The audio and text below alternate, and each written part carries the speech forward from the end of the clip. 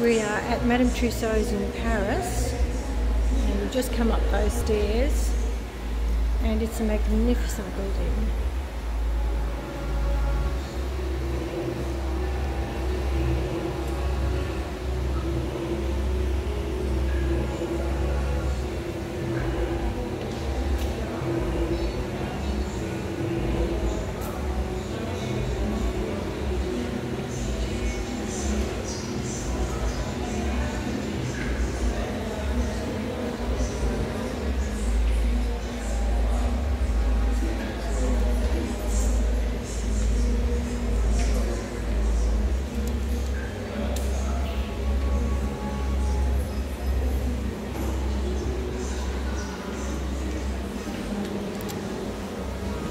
There's Joe in pain.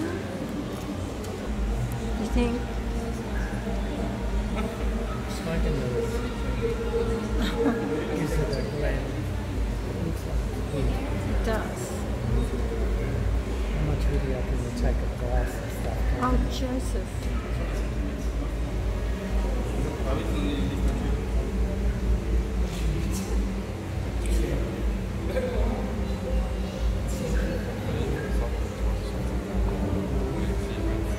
We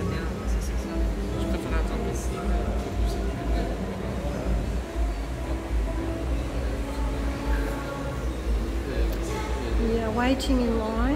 Not sure why we have to wait. We've bought our tickets.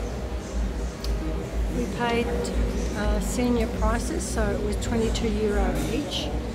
So that was better than the full price.